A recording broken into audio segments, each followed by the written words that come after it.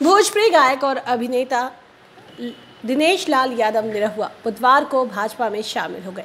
Bharatiya Janata party के सदस्यता ग्रहण करने के बाद उन्होंने अपने साथियों संग मुख्यमंत्री योगी आदित्यनाथ से मुलाकात की। दिनेश लाल यादव भोजपुरी फ़िल्मों के बेहद ही फ़ेमस गायक हैं। जी हाँ और वह सबसे सफल भोजपुरी कलाकारों में से एक माने जाते हैं जिनमें 2015 में पाँच बॉक्स ऑफ़िस पर लगातार सफलताएँ हासिल की। दिनेश लाल यादव निरहुआ बिग बॉस के शो में भी जा चुके हैं। बता दें, आप सभी लोगों को दिनेश लाल यादव गाजीपुर के छोटे से गाँव टंडवा के रहने वाले हैं। उनको उत्तर प्रदेश सरकार का सर्व, सर्वोच्च सम्मान, यश भारती से सम्मानित किया जा चुका है।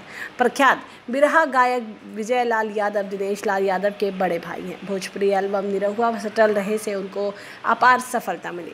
वहीं भोजपुरी स्टार रवि किशन से भी इस बार लोकसभा चुनाव लड़ने की इच्छा जताई है। सियासी गलियारों में चर्चा है कि निरहुआ आजमगढ़ और रवि किशन को गोरखपुर से भाजपा चुनाव लड़ा सकती है। हाल ही में भोजपुरी सुपरस्टार रवि किशन ने मोदी सरकार की फिर से वापसी का ऐलान किया। वहीं उसका एक वीडियो भी वायरल हो रहा है, जिसमें वह कह रहे हैं कि इस बार भी मोदी सरकार की को ही चुनाव जिताएँगे। फिल्मी अड्डा से प्रियंका की रिपोर्ट।